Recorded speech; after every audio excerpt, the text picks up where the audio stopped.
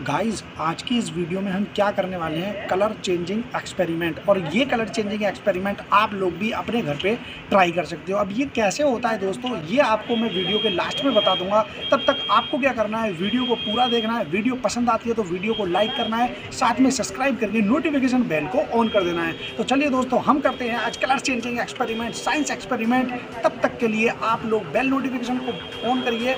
और हम वीडियो की तैयारी करते हैं।